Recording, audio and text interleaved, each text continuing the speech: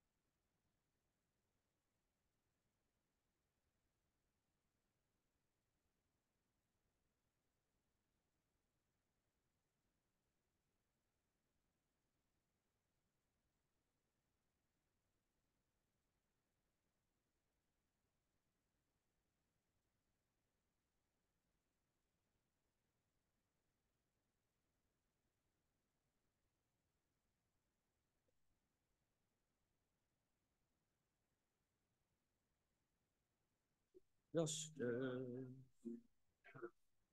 justice and joy.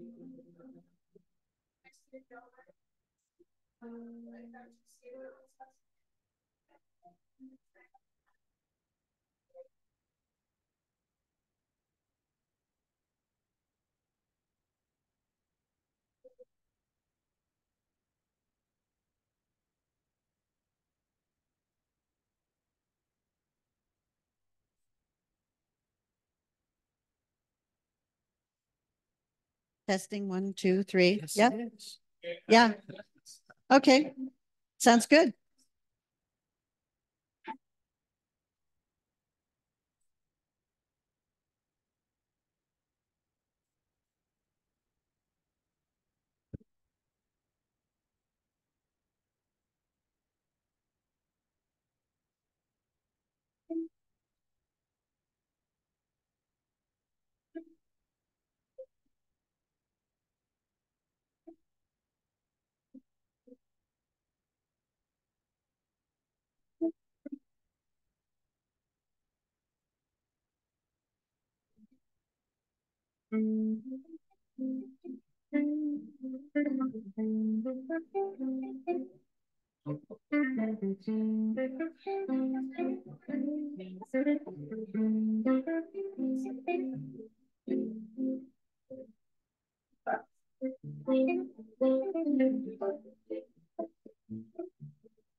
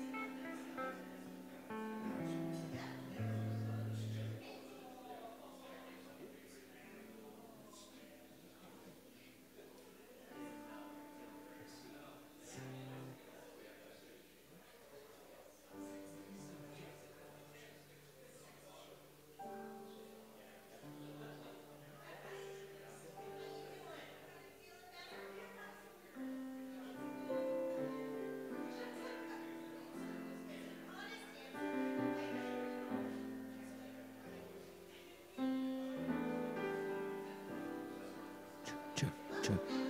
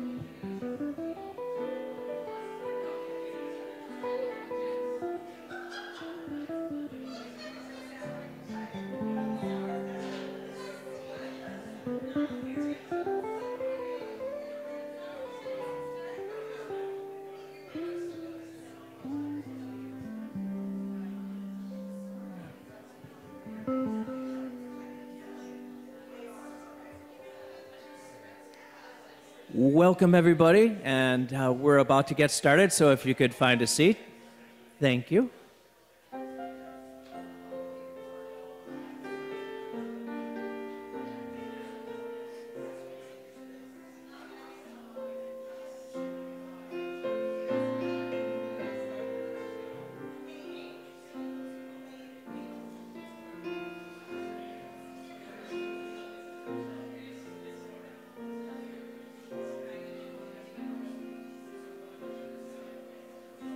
For everyone born, a place at the table. For everyone born, clean water and bread. A shelter, a space, a safe place for growing. For everyone born, a star overhead. And God will delight. We are creators of justice and joy, compassion and peace.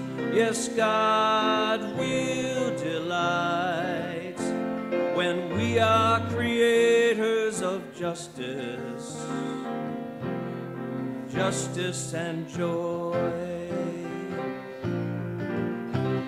For those we neglect, a place at the table, a voice to be heard, a part of the song. The hands of a child in hands that are wrinkled, for those we neglect, the right to belong, and God will delight when we are creators of justice and joy, compassion and peace. Yes, God will delight when we are creators of justice, justice and joy. For all who have breath, a place at the table, a covenant shared, a welcoming space, a rainbow of race and gender and color. For all who have breath, the chalice of grace, and God will delight when we are creators of justice and joy, compassion and peace. Yes, God will delight when we are creators of justice, justice and joy. For you and for me, a place at the table, the wounded and sore with need to forgive. In anger, in hurt, a mindset of mercy for you and for me, a new way to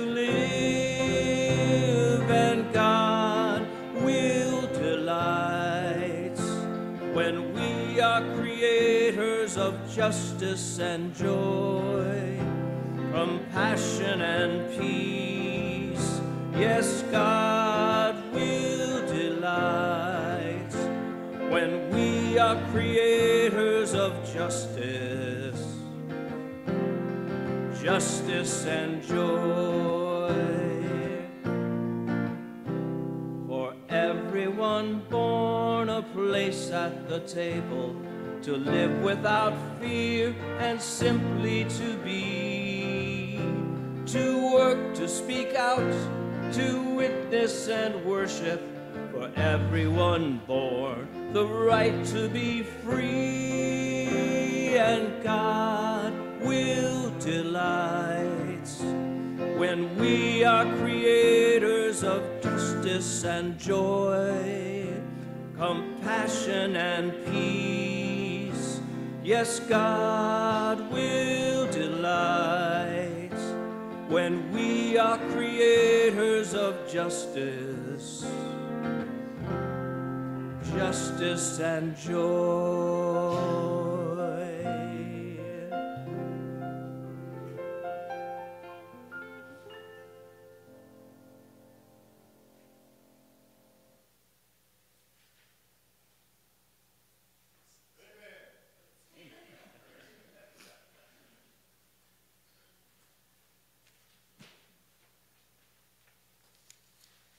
Was a good one, Jerry. Thanks. Amen. And good morning and welcome to one and all, to those of you here and those of you on Zoom. Um, please know that wherever you are on life's journey, you are welcome here. This is our byline. It's wonderful. I'm Sandra Weil. Uh, I'm your announcer and your liturgist in a little while. Uh, I invite you to find a seat, which you've already done, and get comfortable, which you look like you are. Um, if there were children here, and in the future, if there are, please know that we have activities over in the fireside room for the kids, an activity basket. Um, if today happened to be, I'll call on you one, in one second, Raj. He's holding up, I believe you're holding up the basket into which new folks can put a card that they would have filled out, correct? Is that what? Oh, and money, yes. We happily take we happily take donations. Uh, yes, thank you for that reminder. But we do have a guest card uh, for new folks to fill out and to put, it, it can be left back uh, where Raj is. Um, the invitation is always to stay after for coffee and goodies, and there's some really great stuff over there. I've already had my apple pie this morning, um, so that we can get to know you better and you can get to know each other better. Um, and then highlighting some of the items in this week's Friday newsletter. I have actually six quick things to bring to your attention. In that newsletter, there's info about the next event at St. Andrew's Presbyterian Church. It's called, the whole program is called Come to the Table. It's a time for people to get together and talk about important things, but you do need to sign up. But details in the newsletter. Um, there's info in there also about opportunities to help beautify this space, and that includes flowers. And again, read, read more in the Friday newsletter. Uh, details about what's happening on uh, upcoming Sundays, who will be visiting with us, and what the topics will be. Other details about uh, an art exhibit, exhibit that's happening that might be of interest um, to folks workshops and hiking activities led by members and friends of CCC. That usually means Frank Vallone, but others. Um, info about social justice uh, uh activities that you can be involved in, things to pay attention to, and actions that you can take.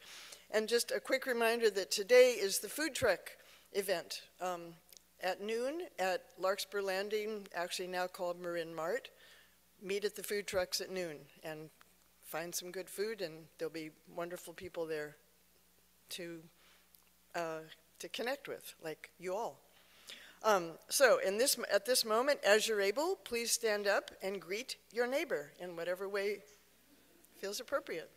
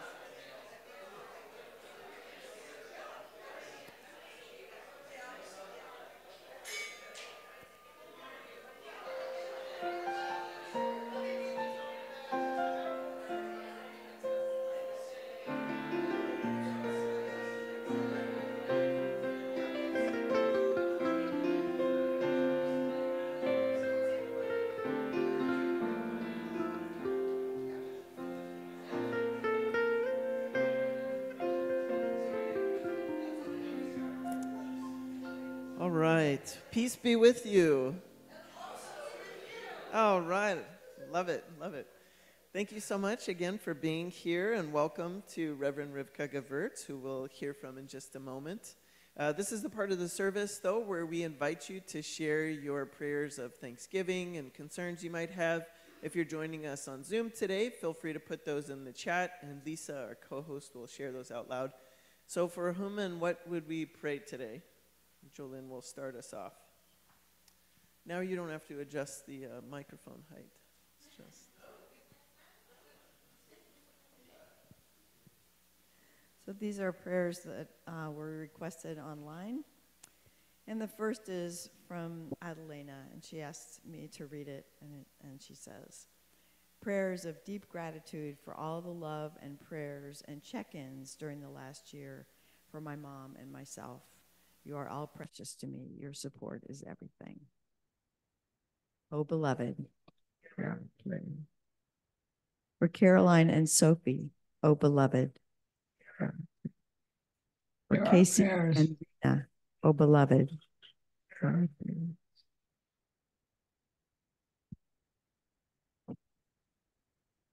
Yes, Lily. Oof. Okay, for Eva, who tore her Achilles tendon. Yeah. Oh, beloved. Hear our prayer. Yes, Tim. Kath and her son Jacob. this is your time. You share. Oh, hooray. Zoe graduated from Lewis and Clark. All right, congratulations for all those things, oh beloved. We know Lewis and Clark. Yes. Others, for whom and what would we pray?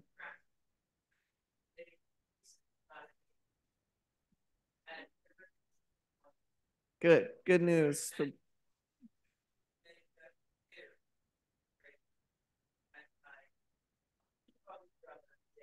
Okay, Dave, Viri, and James. Yeah. Oh, beloved. Hear our prayers.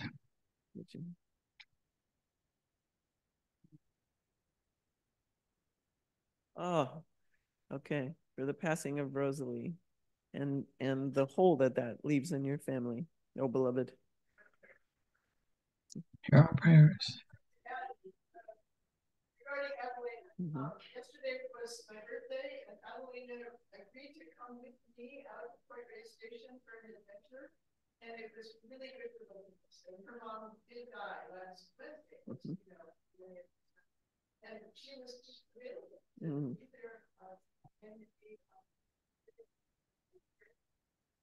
the, I'm grateful too.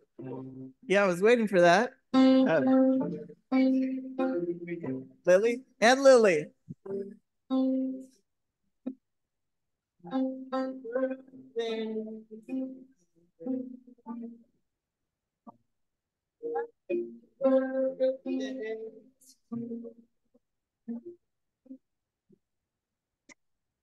This was your 21st birthday, is that right? Went out to Point Reyes? Okay. Lisa, anything like, okay. Others, uh, Scott, go ahead. Yes, Feliz Cinco de Mayo. Um, continuing prayers uh, for the people of God uh, and for all of the students exercising their constitutional rights. And that it be peaceful and meaningful and um, accomplish what it's supposed to. Absolutely. Yeah. Prayers for students who are um, demonstrating courageously, um, getting text updates from my two beloveds uh, from the campus up in Eugene and several around here that you know of, I'm sure. If anybody is interested in how we can support those students, um, talk to me afterwards and we'll figure something out. But yes, prayers for these students who are making history right now uh, and who are often accused of not caring about a lot of things in their generation and are clearly showing their passion and alternate ways of being. So courage for them, protection for them, protection for their faculty and other adults who are um, trying to to really support them. Oh, beloved. And of course, for peace in Gaza and uh, in Israel and in the, the Sudan and in Ukraine and here in the United States, right? We is, are we are feeling a shortage of peace? Yeah. So prayers for peace, oh beloved. Lisa. Well, amen.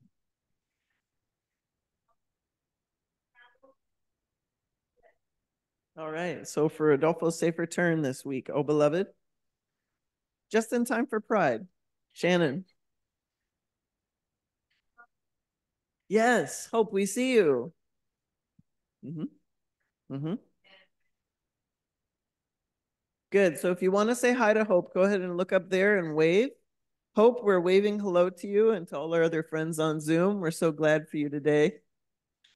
For all our beloveds uh, here and on Zoom, oh beloved, hear our prayer. Yes, Barbara. What? Oh, I did know that. Yes, Pat's birthday. We need to have a, a more organization with this. Happy birthday, Pat. Did you also turn 21? Okay. This is not, you know, this is not like Chevy's. You're not going to get a sombrero and a hat, at least not from me, right? Okay. But happy birthday to you. So glad you're here. Other concerns or things that you want to share and celebrate with his community? I'll ask uh, for prayers for traveling safety. Uh, Deshna will come back this week. And uh, we have other friends who are traveling from this community. So for all those who are on the road or tra traveling, uh, oh beloved. Mm -hmm. Prayers for Mary. Prayers for Mary Veazey and Joan Ripple, oh beloved and um, our friend Peller Marion, who's going to be having uh, hip surgery soon on the 15th of May. Thank you, oh beloved. Prayers for Peller, oh beloved. So, for all those spoken and unspoken, I'll invite you to join me in the prayer that Jesus taught us. You can follow along with the words on the screen or in whatever version that you have learned. This is from uh, Enfleshed, a website uh, that's that's got uh, free liturgy by uh, community and clergy of color. Let's together pray these words. Mother of us all, who dwells within and beyond.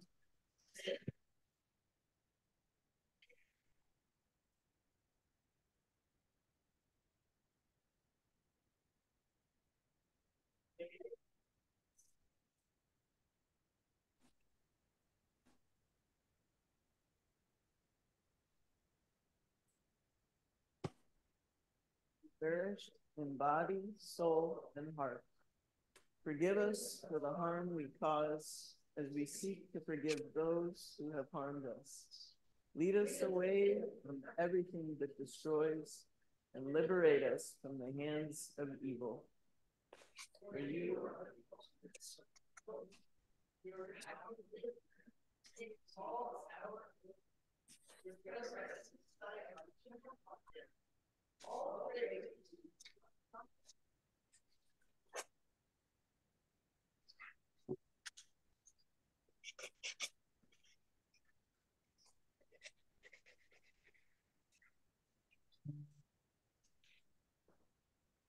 Spirit of the living God, fall afresh on me.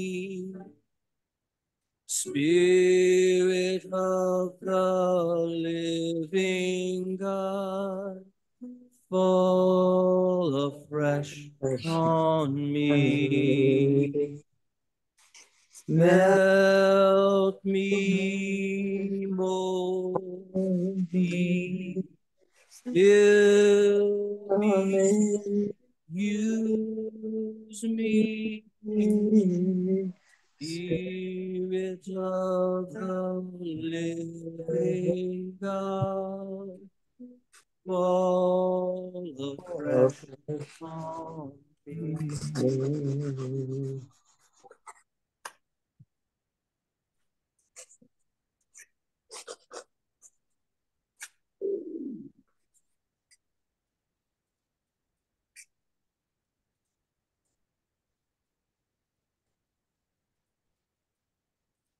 So the first chunks of readings go as follows. The first one from Acts. God has shown me that I should not call anyone profane or unclean. And another from Acts. While Peter was still speaking, the Holy Spirit fell upon all who heard the word. The circumcised believers who had come with Peter were astounded that the gift of the Holy Spirit has been poured out even on the Gentiles. And then from John This is my commandment, that you love one another as I have loved you.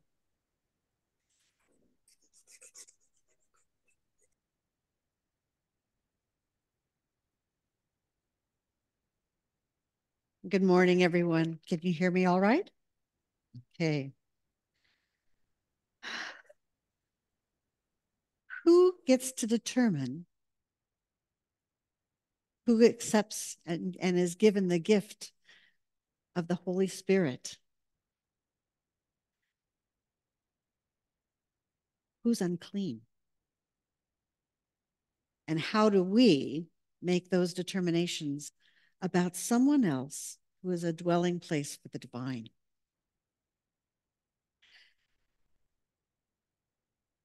When I was a girl, having first come out to my parents as a lesbian, I was outside of spiritual tradition. I was outside of family because our families are so knit up with the traditions that we participate in.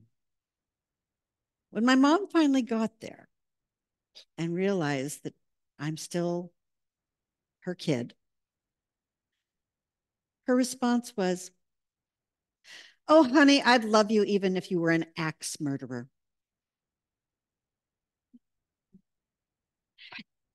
intent is not always the same thing as impact. I know that her intent was to let me know that no matter what in the world, she loved me. And I could take that in. But I could not take in being compared to someone who has ripped the life out of someone else.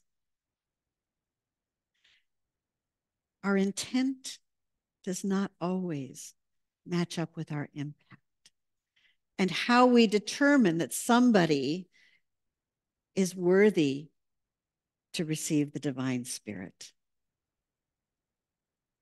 is often tied up in our ideas of who they are. We've been talking the last couple of days, first with our, our webinar um, on Thursday, and then this morning about things that separate us from one another. We've been talking from the head on Thursday around things like microaggressions and unconscious bias and the ways that you know we make decisions about the wisdom that is actually inherent in all of our lived experience in all of our bodies. And earlier this morning, we, we went more deeply into the idea of our embodied experience of our lives and how the messages that we receive from little kids on up inform how we move in this world, how we hold ourselves in compassion, and how we hold others in compassion. So it's going to be a little bit unusual, I'm sure, for some of you, but we're actually not going to have a long, lengthy sermon. We're going to have some moving of these bodies with a series of questions that I want you to think about, about how they impacted you in your own life. So you'll see around the room, we have words, religious affiliation, age, disability, race, orientation, gender identity. And my, my bifocals are right in the middle of that line, so I can't see what's over there. Hmm? Class is back there, sex is back there. All of these different things make up who we are. We have so many identities living within us in this container that is the home for the Holy Spirit. I'm going to ask everybody to stand up. And I'm going to ask you to move around a bit today. So, so take your time, but take a moment to just glance around a little bit so you see what some of the signs are, because I'm going to ask a series of questions. And I want you to position yourself near the sign that, that is your answer to each of these questions. Does that make sense? Okay. Okay. So the first question I'll ask, and we'll use this as, as a way of getting started. So enter your body, enter your knowledge of all the pieces that go into making you, you. And how would you answer this question? The part of my identity that I'm most aware of on a daily basis is which one of these words speaks into what you're aware of on a daily basis? And for those of you who are on Zoom, um, if you want to participate by typing into the chat, um, what part of your identity is something you're conscious of on a daily basis?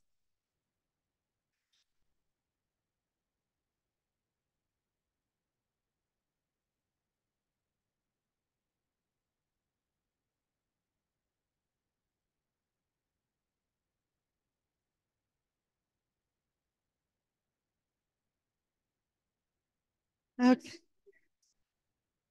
As we settle into places,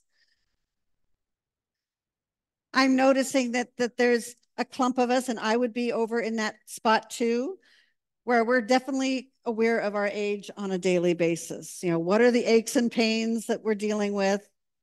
How are we seen or not seen? Yeah.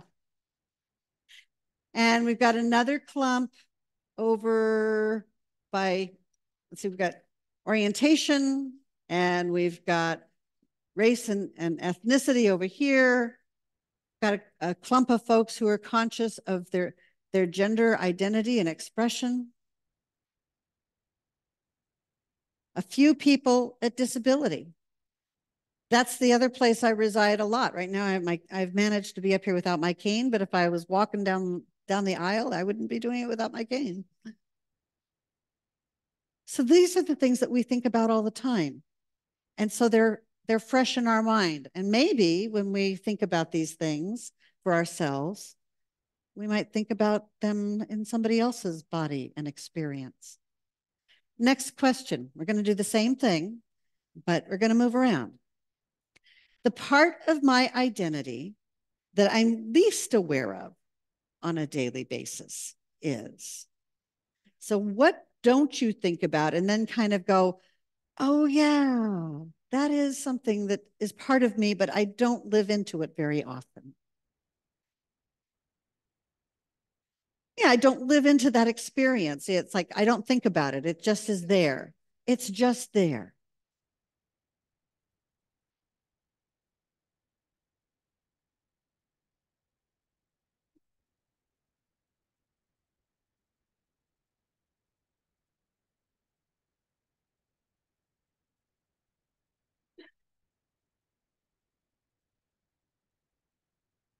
Yeah.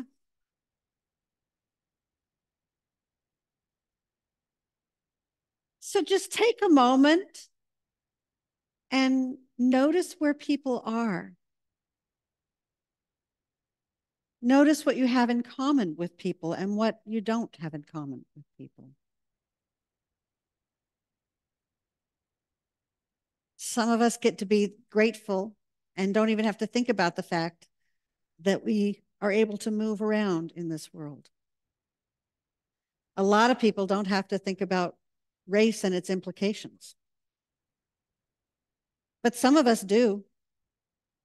Some of us do have to think about how our bodies and our age and our gender and our expression and our family's racial history.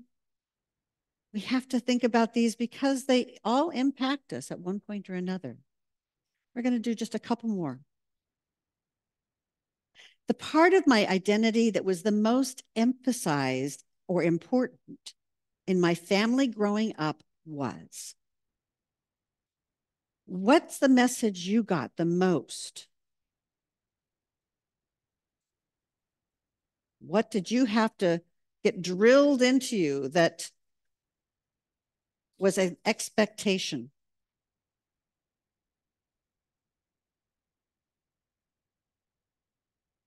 The part of my identity that was most emphasized or important in my family growing up.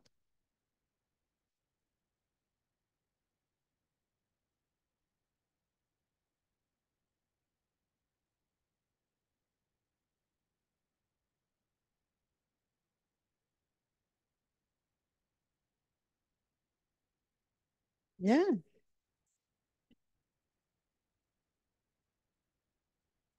For some of us, for some of us, the tradition we were raised in was very had very clear expectations of our lived experience. My family, everyone knows me today as Rivka, but growing up, it was very clear that my name was Teresa Ann Marie. What do you think my parents were planning to put in front of that? But sister. Yeah. For others, our ethnic history, you know, the immigration experience of our families is a story that is emphasized or, or celebrated for some, conforming to a gender identity that somebody else has determined, which, by the way, when we're talking about gender identity, we talk now in terms of the sex assigned at birth because somebody else has determined that based on what they see. They don't necessarily see that somebody is an XXY chromosome or a YYX chromosome or a doctor may decide which genitalia looks better because they're not quite clear what it is. The things we impose upon others and that are imposed upon us become part of our identity. We'll do one more. The part of my identity that provides me the most privilege is the most privilege? Sure. What what the part of my identity that provides me with the most privilege in my life is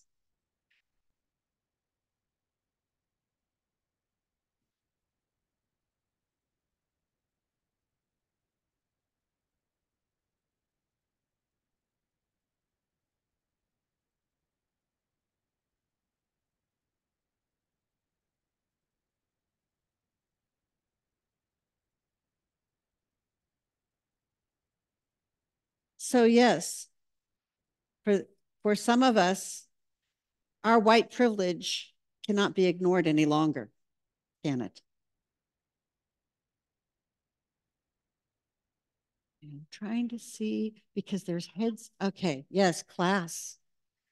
We we live in a society in which the class that we are raised in is held in tension with the class many people find themselves in today. You know, young people who are having to have three and four roommates until their 40s because they can't afford to live the standard that they grew up in. The thousands that are homeless and yet holding down a job, but they can't afford a place to live. There's things here that we see and things that we don't see about someone else's lived experience. Come on back to your seats. I'm okay. Yeah. Mm -hmm.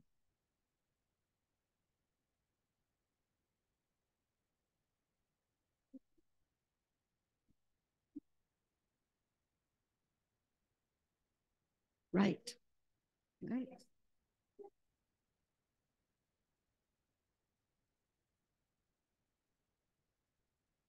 So,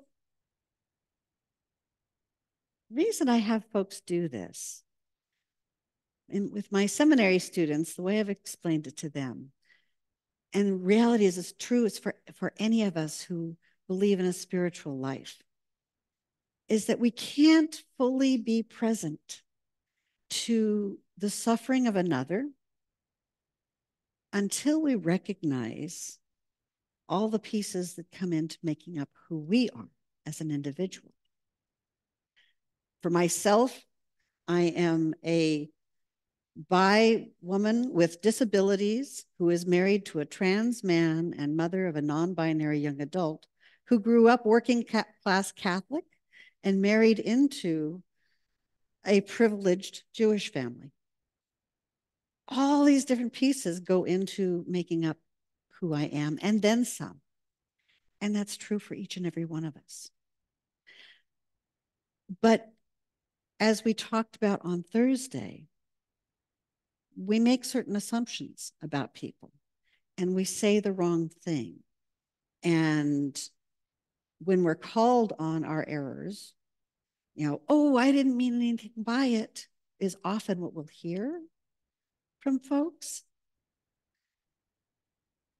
And those add up to being microaggressions. They add up to the ways that we separate one another from a sense of belonging. You know, we were talking in the service earlier about the difference between fitting in and belonging. Can we possibly belong if we're expected to fit into somebody else's idea of who we are? And so that's the conversation today. Spirit doesn't happen just with us standing up here yapping at you. It also happens in what crystallizes in our conversation. And so I want to invite a conversation.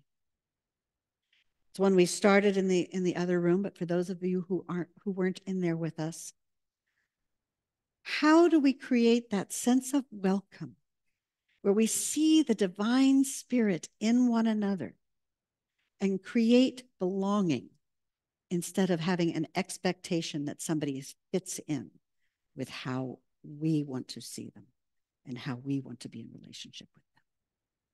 What is the difference between fitting in and belonging? Any thoughts?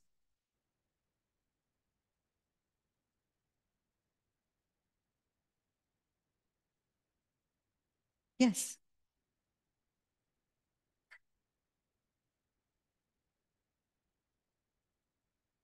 Right. Exactly. Yeah, if if we think that we have to meet someone else's expectations, are we really getting to be ourselves? No. What's another element of fitting in versus belonging?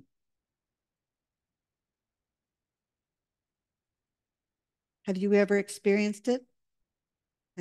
Think back to cliques in high school or that first job trying to figure out the culture. Yes.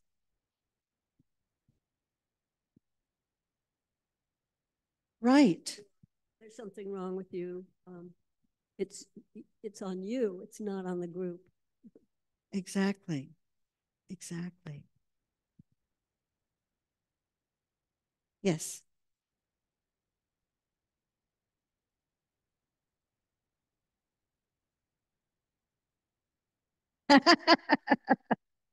um, well, I, I think that uh, just I was just thinking in my work community and so forth. I I do think what does make it difficult is sometimes when people feel entitled, you know, and I know that uh, like with students, sometimes they they form these cliques and keep out people that you know should be included and um, sometimes entitlement has to do with the clothes they wear, and uh, sometimes it has to do with you know other things. But I I do feel like um, letting go of what we think we're entitled to, um, I think, can open more doors too.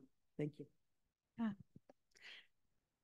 Entering an energy of of humility and compassion. How about when we see somebody who's homeless on the street? What's our reaction? Do we not want to look over there because it's uncomfortable? Yeah. Do we make assumptions about how they got there?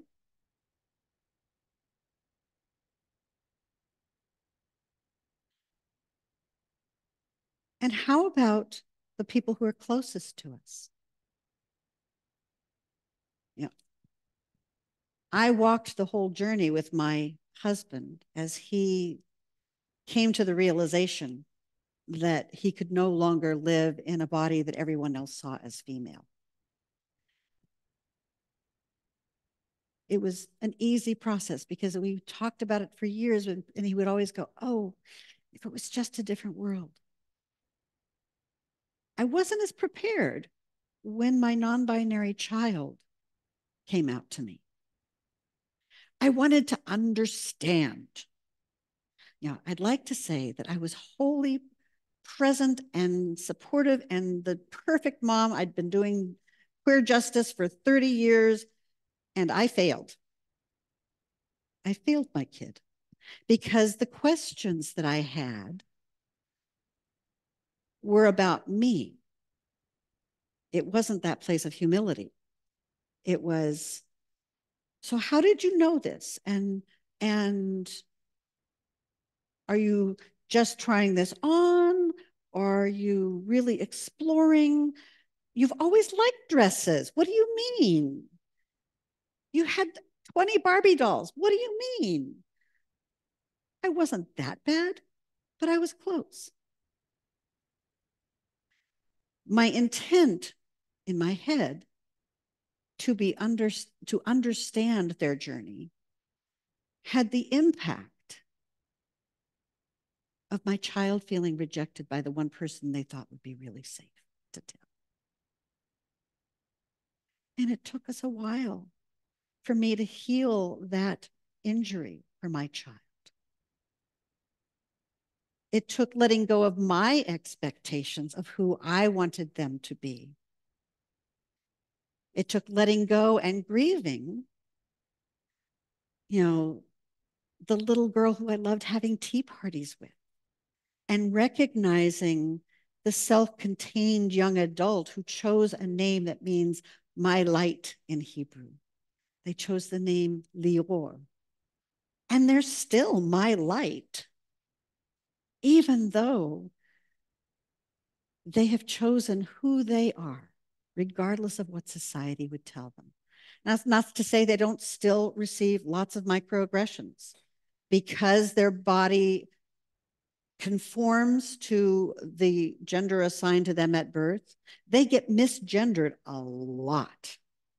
And it's maddening for them, and it's heartbreaking for them.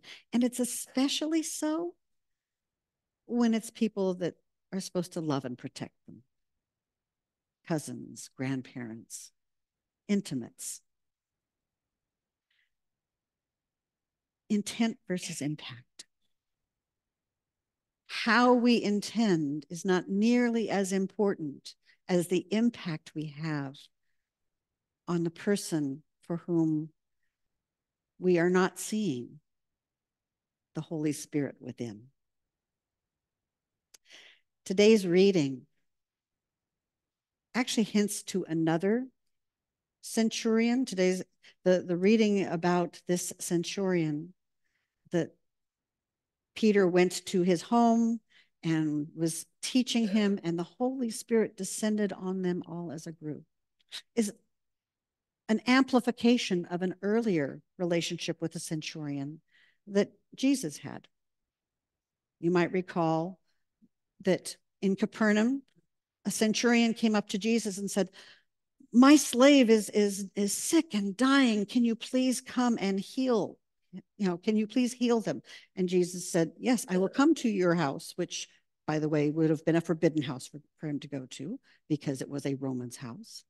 And the soldier says, Oh, you, you don't have to come, just say the word. Acts of faith by two people who were not part of the Jewish culture that, that Jesus was immersed in.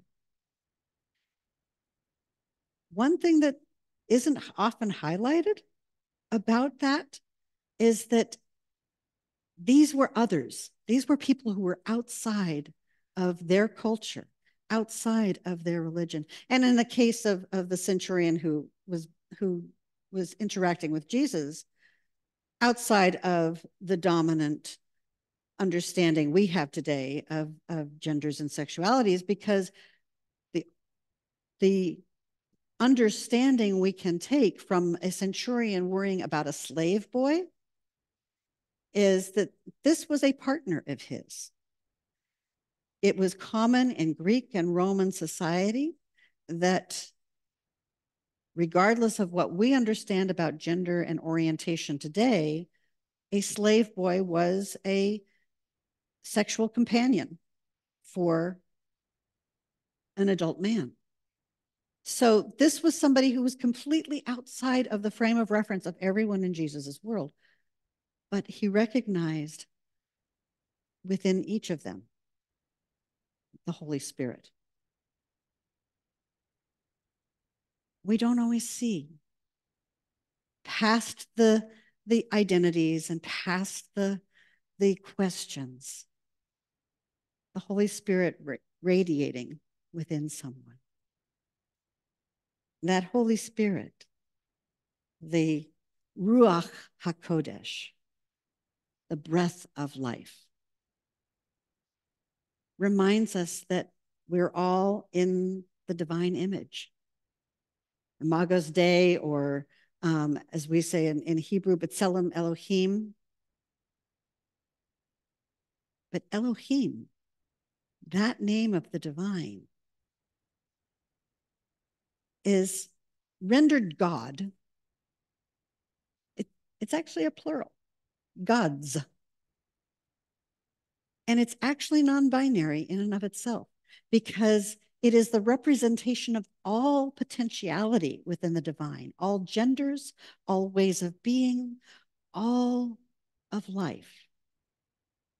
And so when we say that we are made in the image of the divine, we're saying we are made as complex and beautiful kaleidoscopes of being with multiple identities that sometimes light brings to this part to the fore floor and, and then another part is brought to the fore. We're a mixture of divine light. And each and every one of us has the opportunity to see, to hear, to witness with humility and compassion. The expressions that flow through a slave boy, through a person who knows themselves to be a different gender than they were born being represented by, who knows themselves to be from a culture that is rich and strong and proud in and of itself, that might not conform to the white supremacist organiza organization of our culture that we live within. We are all B'Tselem Elohim. We are all invited, as in the psalm, to love our neighbor as ourself, to welcome the neighbor, when we can do that, when we can step out of the stories we make about who somebody is, is based on their race or who somebody is based on their orientation and learn from them what it means to be them as opposed to having our suggested ideas, our intent, and our assumptions being the guide. Listening to them about what life is. What are the pieces that make them up? What do they hold sacred in that experience? And what do we use as a microaggression because we're buying into ideas of, of what we think they are and who we think they are and what our understanding, as misguided as it might be, informs us. We're to love our neighbor, love each other as I have loved you. To do that, we have to see each other in all of our beauty. May it be so.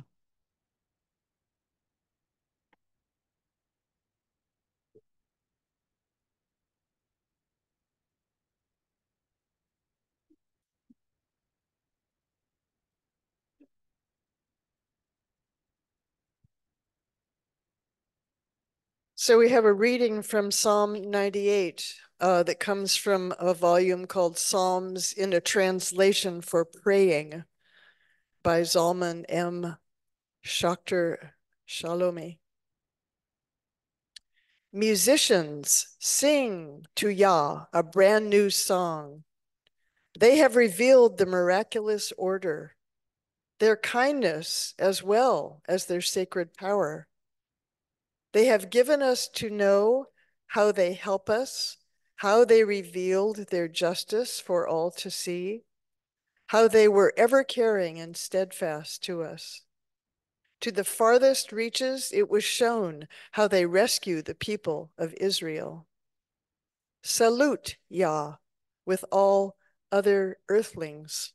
Come to ecstasy, jubilate, a chorus of celebration bands of musicians, tune up your harps for Yah and your lyres, brass, shofars, in fanfare before the sovereign Yah.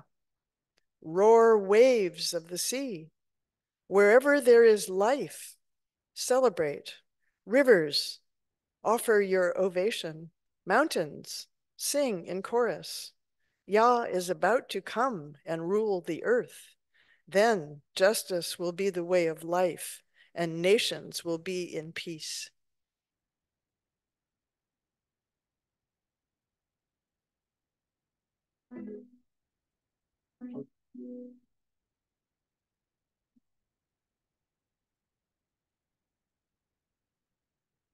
The body is what from the first breath we take.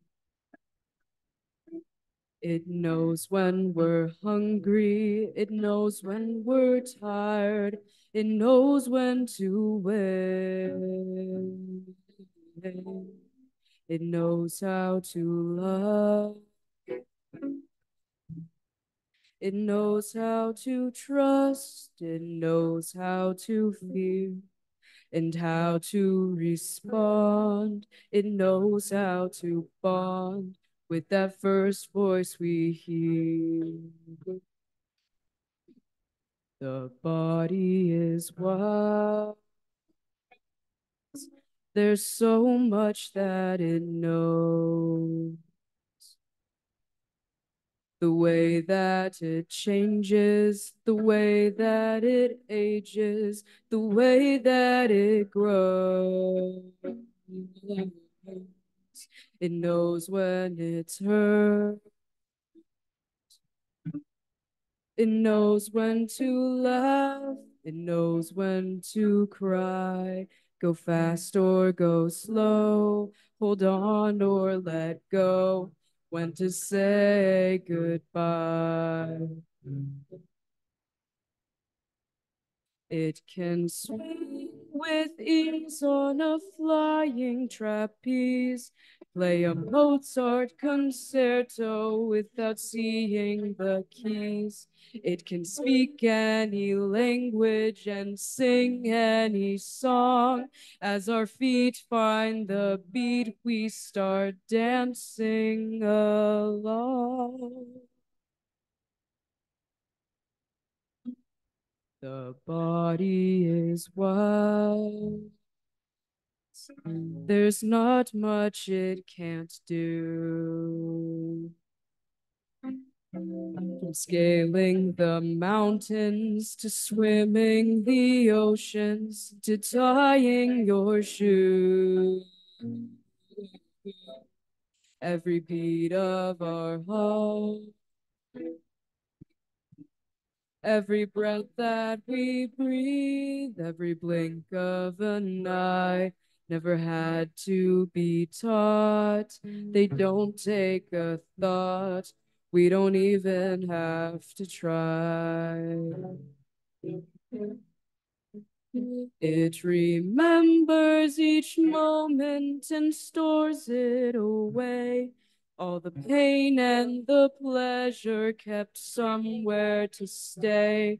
Every voice that we hear, every face that we see makes me part of you and makes you part of me. The body is what all the things it can read. It knows when you're lonely. It knows what you need. It knows what you need.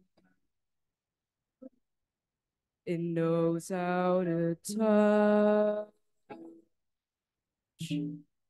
It senses the truth. It senses a lie. It knows how to feel. It knows how to heal. And it knows how to die.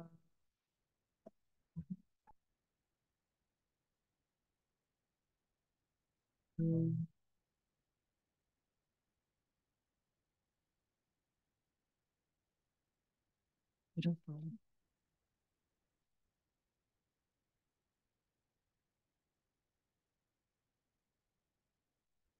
Holy Spirit, you who have given us wisdom through these bodies, as we come together in a kaleidoscope of being.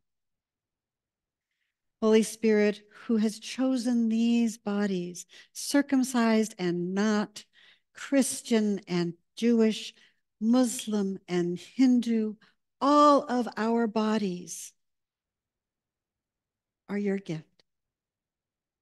We thank you, source of life, who is known by many names and no name, for reminding us that that still small voice is an embodied experience in coming together hand to hand.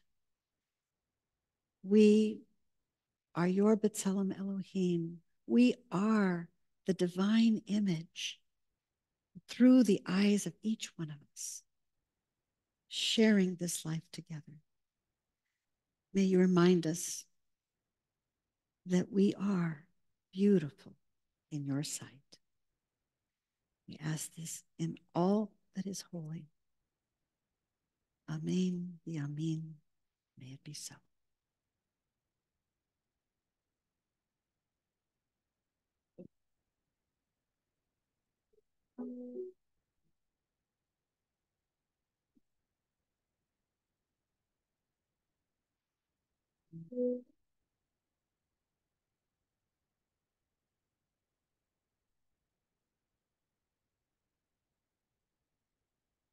Oh, go in beauty,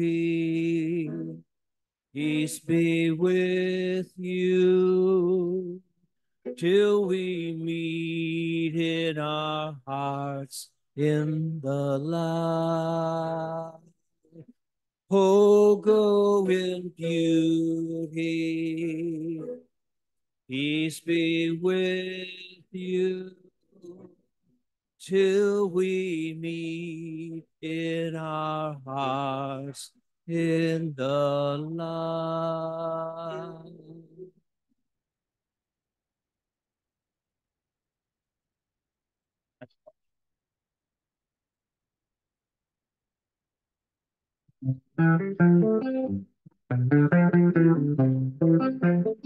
Para bailar la bamba.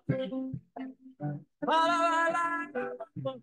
Se necesita una poca de gracia. Una poca de gracia para mi pachi. Que arriba y arriba. Que arriba y arriba. Por ti seré. Por ti seré. Por ti seré. Ba ba. Ba ba. Ba ba bamba. Bamba. Yo no soy marinero. Yo no soy marinero. Soy capitán. Soy capitán. Soy capitán. There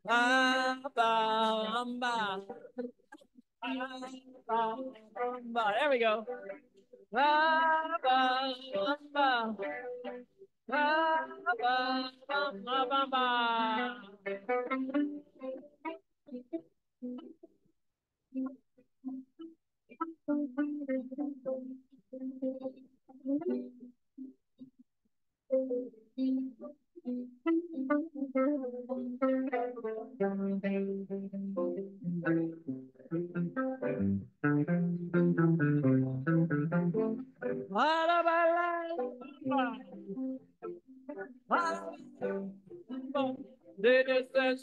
Una poca de gracia, una poca de gracia para mi party, y arriba y arriba,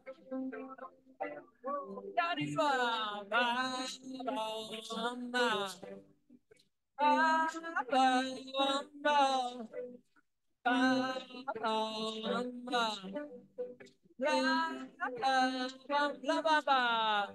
La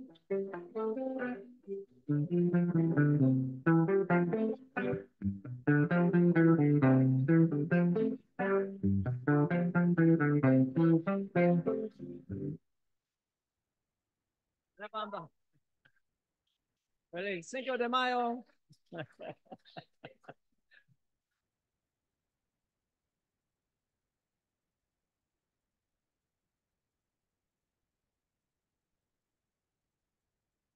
Hey, the tape is- I'm sure giving you a heads up.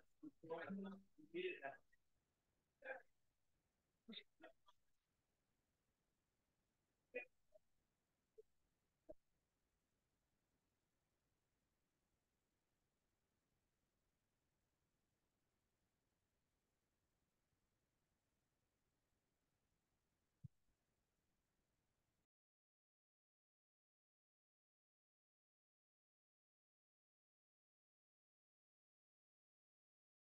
Just a reminder, if anyone wants to hear a board update, Diane Suffrage will be over here in the fireside area. If you'd like an update on what's happening with the church board, she'll be over there for next fifteen minutes. Thank you.